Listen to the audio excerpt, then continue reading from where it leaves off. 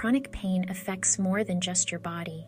It can influence every aspect of your life, from your mindset to your relationships and daily experiences. By the end of this video, you'll discover seven research based strategies to help you emotionally cope with chronic pain and feel more empowered on your journey. So let's get started. Relaxation techniques can significantly reduce stress, which can exacerbate pain. One of my favorites is listening to calming music. Try setting aside a few minutes each day to just sit, listen, and let the melodies wash over you. Another fantastic technique is progressive muscle relaxation.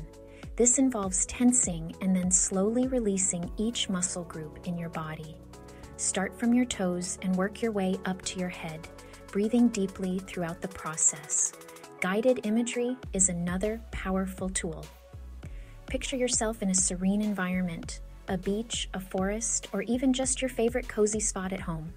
Visualize every detail from the sounds to the scents and immerse yourself fully in this peaceful scene. So give these techniques a try and see which ones resonate with you. Connecting with people who understand your journey is crucial. Speaking with a mental health professional can provide you with personalized strategies and a safe space to express your feelings. Support groups are another excellent resource. Whether in person or online, these groups offer a community of individuals who truly understand what you're going through. Sharing your experiences and hearing others' stories can validate your feelings and provide a sense of belonging. Online forums can also be a great place to find support.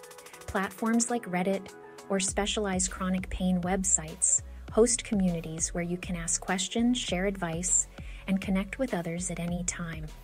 Family and friends can be a vital support network as well. Open communication about your needs and limitations can strengthen these relationships and reduce feelings of isolation. Remember, it's okay to ask for help. You don't have to do this alone. Acceptance doesn't mean giving up, it means acknowledging your pain without letting it control you. This mindset shift can reduce frustration and bring peace. Recognize your pain as part of your life, but not the entirety of it. Mindfulness involves being present in the moment, observing your thoughts and feelings without judgment, Observe your pain with curiosity, not frustration. This can help you detach from the pain and reduce its emotional impact. Distraction can break the pain stress cycle. When you immerse yourself in an activity you enjoy, it can shift your focus away from the pain. Hobbies are a fantastic way to do this, whether it's painting, knitting, gardening, or playing a musical instrument, engaging in a creative activity can provide a mental escape and a sense of accomplishment. Watching movies or TV shows is another great way to distract yourself. Choose something that makes you laugh or captivates your interest. Gentle physical activities, like going for a walk, can also serve as a distraction. Being outdoors and getting some fresh air can lift your mood and provide a change of scenery. Reading a good book or listening to an audiobook can transport you to another world, providing a mental break from your pain. Find what works for you and make it a regular part of your routine. On days when you feel better, it's tempting to overdo it, but pacing is essential.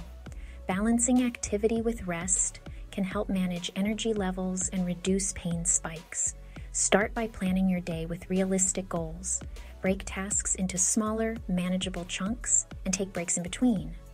Listening to your body is crucial. Pay attention to your energy levels and pain signals. If you start to feel tired or your pain increases, take a break. Using tools like planners or apps can help you track your activities and rest periods. This can provide a visual representation of your day and help you stay on track with pacing. By pacing yourself, you can reduce the risk of overexertion and manage your pain more effectively. Your mindset can shape your experience of pain. Practicing positive thinking can make a significant difference in how you cope with chronic pain. It's about replacing negative thoughts with supportive self talk and focusing on the positives in your life. Start by identifying negative thoughts that often cross your mind. Once you're aware of these thoughts, challenge them.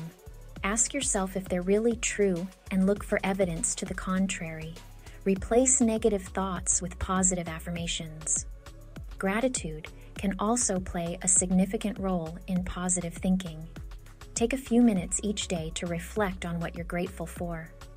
Positive thinking isn't about ignoring the challenges, but about finding hope and strength within them. Gentle exercises like walking, yoga, or swimming can release endorphins and lift your mood. Exercise is a powerful tool in managing chronic pain, but it's important to choose activities that feel good and fit your comfort level. Walking is a great way to stay active without putting too much strain on your body. Start with short, gentle walks and gradually increase the distance as you feel comfortable. Yoga is another excellent option. It combines gentle stretching with mindfulness, helping to improve flexibility and reduce stress. Swimming or water aerobics can be particularly beneficial. The buoyancy of the water supports your body and reduces the impact on your joints, making it easier to move without pain. Remember, the goal of exercise is not to push yourself to the limit, but to find a balance that allows you to stay active without exacerbating your pain. So, find what works for you and make it a regular part of your day. Managing chronic pain is an ongoing journey, but these strategies can help you feel more empowered and supported. If you found these tips helpful, subscribe to Wellness Lori for more wellness advice. Take care and see you in the next one.